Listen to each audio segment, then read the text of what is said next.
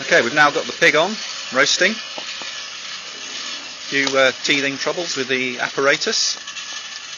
Counterbalance system didn't work initially. We've still got the same flopping problem that we had two years ago, but they've got a brake on it to counteract that. All this um, stuff beautifully made by Barry.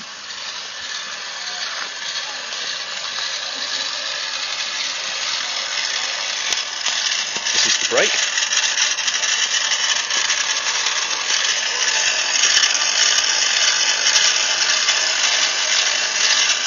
Universal joint, drive shaft.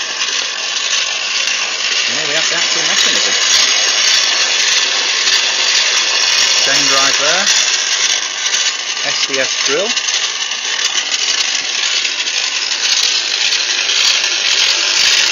And the actual drive motor down here.